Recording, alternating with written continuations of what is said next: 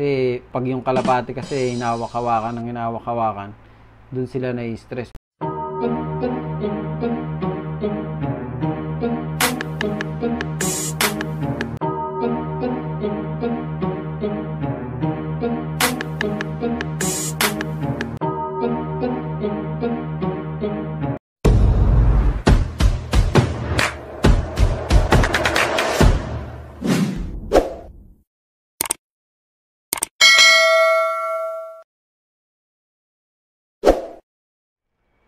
So we are back again to my channel mga kalapatids. For today's video, ipapakita ko nga sa inyo yung finished product ng aking Super Mini Loop version 2. At ipapakilala ko na rin kayo sa aking mga bagong batang sundalo. Tara kalapatids, simulan na natin yan.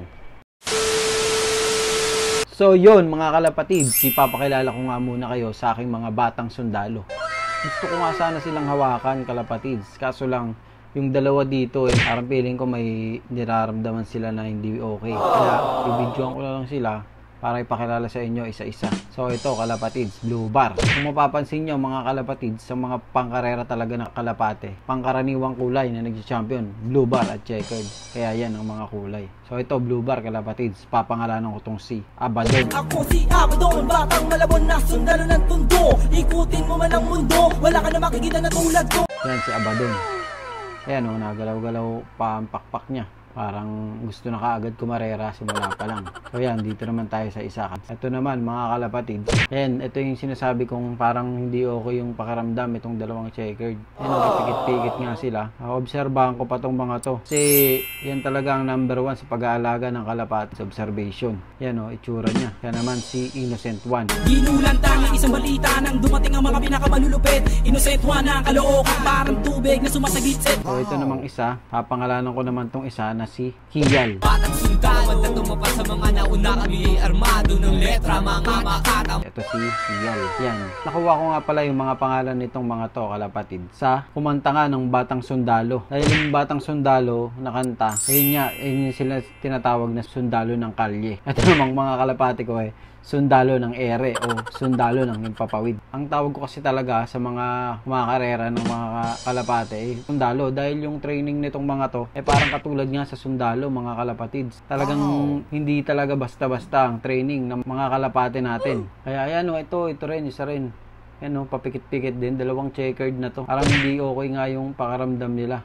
Puro ka paulit-ulit na lang! Kaya hindi ko lang sila hinawakan. Baka ma-stress pa sila. To, itong checkered na to. Maganda yung mga background ng mga magulang nito, kalapatids. Talagang finisher. Talagang dumudulo rin yung mga magulang nitong mga to. Itong blue bar na to, kalapatids. So, tignan nyo, itsura. Ito lang yung mukhang okay sa kanila. Itong blue bar na to. Eh, pero hindi ko na rin hinawakan. Baka kasi naninibago pa sila sa lugar. Bagong kuha ko lang kasi sila sa mentor ko. Kaya ano muna sila, bibigyan ko muna sila ng space para hindi sila masyadong ma-stress. Kasi pag yung kalapati kasi hinawak-hawakan ng hinawak-hawakan, dun sila na-stress.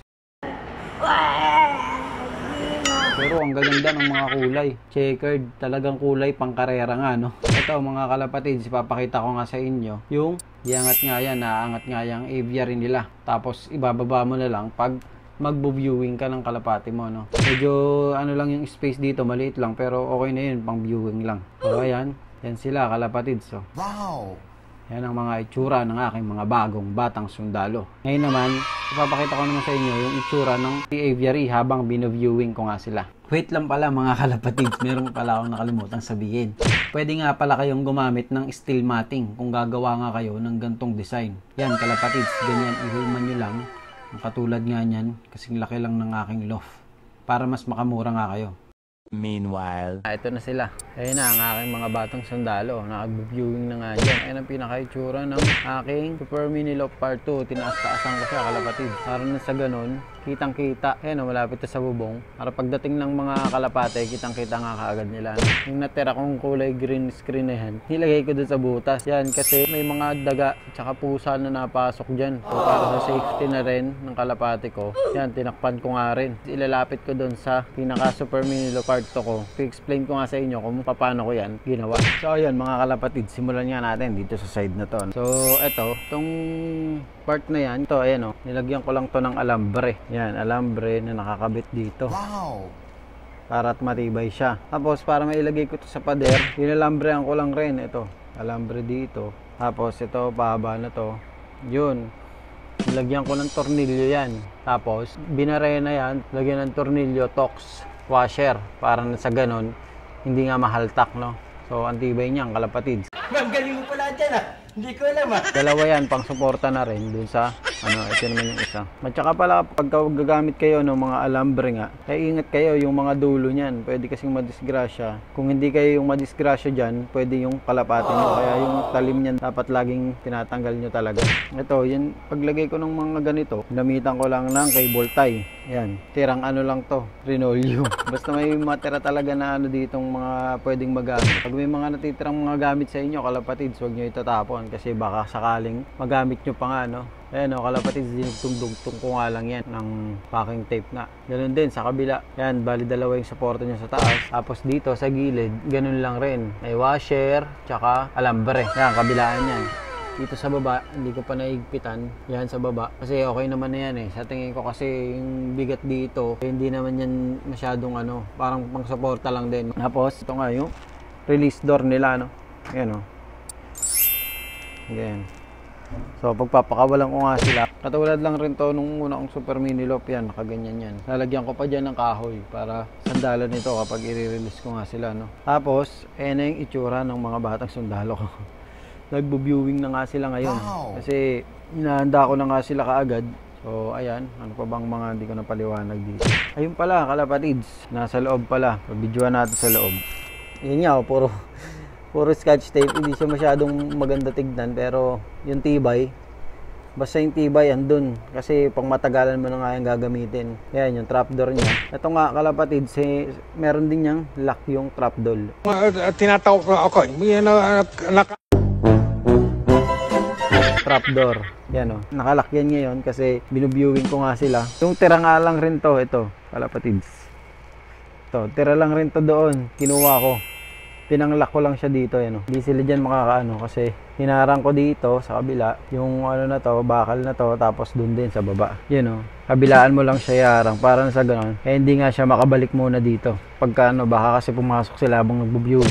Ayan, pinakinabangan ko lang din yung mga tinanggal ko nga dito. Yan yung mga pinutol-putol ko na lagaring bakal na yan. Pinakinabangan ko lang rin kasi sayang naman. Tapos, pinag-i-scotch tape ko lang din. Yan, scotch tape, scotch tape lang. Matibay na yan, kalapatids. Protection lang yan sa ulan. Ayan nga, inulan niya kaagad o kaka, kakagawa pa lang, inulan. Inulan na kaagad. Tapos, ito, kalapatids. Meron pa pala akong hindi nasabi dito. Ito pala, yung sukat nito. Da- namali ako dito dapat susukatan nyo talaga. Kasi ako hindi ko nasukatan. Kaya agad to kinalabasan. Ginawan ko na lang ng paraan. Ito talaga dapat itong pa-square na to sukatin nyo muna. Kung gagawa nga kayo nito sukatin nyo muna yung taas nito tsaka yung lapad pa ganun. Para sa ganun eh hindi kayo matulad sa akin. Eh no? Kumulang nga yung sukat ko. Ginawan ko na lang na naman ng paraan. Cable tie pala sa green screen kalapatids. Pwedeng pwede na. Matibay na rin. Hindi na rin siya matatanggal talaga. Ayan cable tie lang rin cable tie. Ito yung green na ano ginagamit ko naubos na. Kaya puro cable tie na lang ginamit ko. Yan piso lang yung cable tie kalapatids. Ito pala ito din kumapis din. Nilagyan ko lang rin ng anuan niya, sandalan niya kasi babang babayan eh. Kaya nilagyan ko ng sampahan dyan para ano nga, suporta. Hindi bumaba yung kahoy.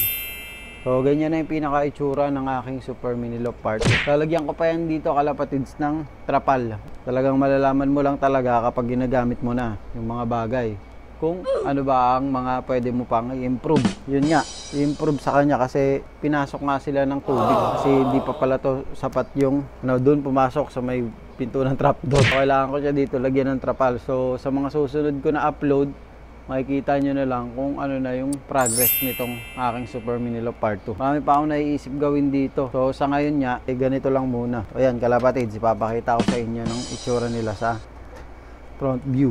Meanwhile, So, ayan, kalapatids, ang itsura niya sa front view. Ganyan niya ang itsura na nakikita ng aking kalapate kapag paparating na. Yan. Yung viewing lang sila. oh. So, ayan, kalapatids. So, ayun, mga kalapatids, napakilala ko na nga kayo sa akin mga bagong batang sundalo, no? Abangan nyo yan dito sa aking channel. Pangkakarera ko yan sa Norte.